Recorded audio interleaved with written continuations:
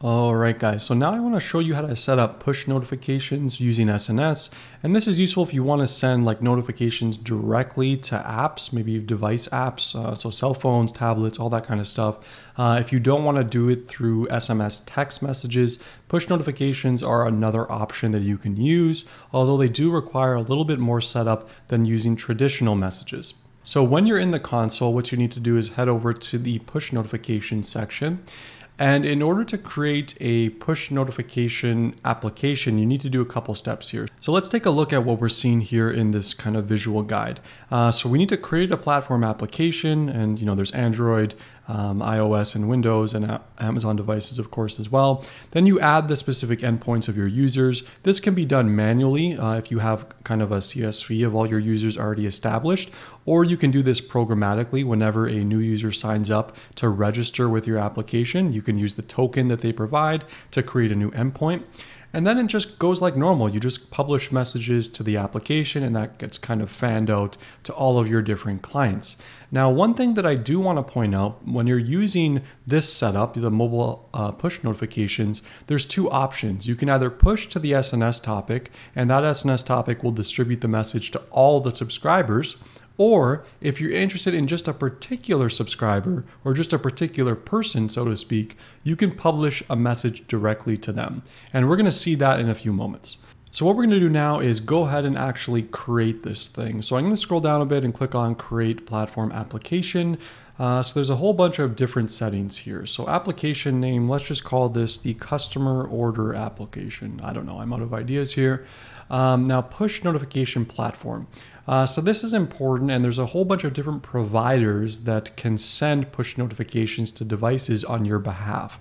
So when you're using this push notification, I guess you can call it subservice or feature of SNS, you need to have a particular provider for which you are going to use to push these messages to these devices on SNS's behalf. So there's some setup that needs to be done in order to get that to work. So I think the most common one is probably Firebase Cloud Messaging. It used to be called uh, Google Cloud Messaging, but they recently changed their name. So if I click on this, then I'm going to need to set whether or not it's enabled. It obviously comes enabled. Then I'm going to need to provide my Google API key, and that should be accessible by logging into your developer account and then just grabbing that and putting that in here.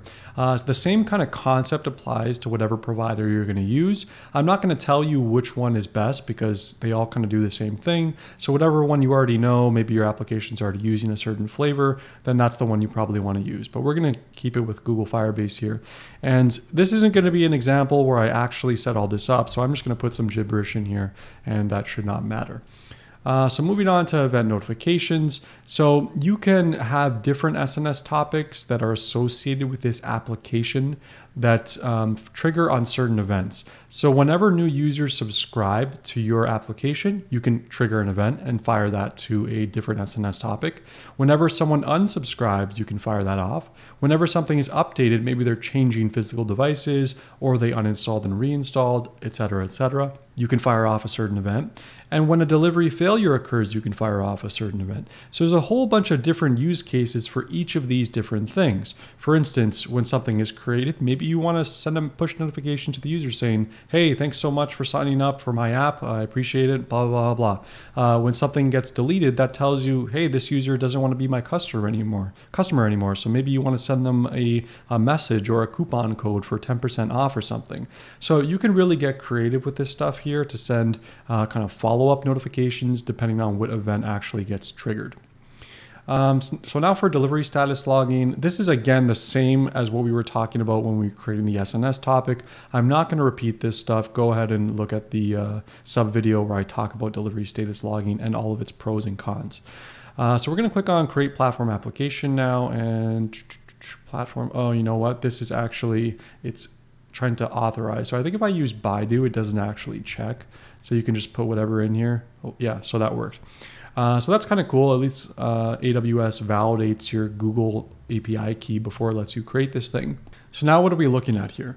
Uh, so we can see now we have an ARN that corresponds to this whole application. So this is kind of your SNS topic for the whole application, right? So if you send something to this, if you publish a message to this, it's going to go to all of your endpoints Right now, I don't have any endpoints, right? Because we just created the topic. But now I can start creating application endpoints for new users. So you need the device token here, like we're seeing. So every device has a token that gets provided when you're using the Android or iOS or Windows or whatever SDK. And you need to use that to register with an API call to create the application endpoint. So say on the device, you get a token from, you know, using the SDK, say it's one, two, three, four, five. And then you can also add some arbitrary data, maybe the, the user ID of this person, or actually that's down here, but maybe like the date and time this happened, all sorts of stuff. This is just going to be gibberish again, doesn't really matter for this application example. And then you can go ahead and click on create application endpoint. So then what are we seeing here now? So we see that this got created. Notice now that we have something new. We have something after customer order application. And this is the ARN that corresponds to this particular customer. So if this is me and my cell phone, you can't see me right now, but I'm waving around my cell phone in the air. I just subscribed my cell phone to this application. And if I want to subscribe your cell phone to this application, I would need to do the same thing. Now, say I only want to send a message to just me, say I'm special, right? I, as a application, would publish to this ARN, and that would deliver to just me. But if I want to deliver to everyone in this application, I would publish to this guy which is the ARN of the customer order application. So you can see there's different capabilities here, either to publish to everyone all at once or to publish to particular people. So, so there's a whole lot of depth that goes into sending push notifications and a lot of a big learning curve that you need to be aware of to set this up, but hopefully you found this section useful.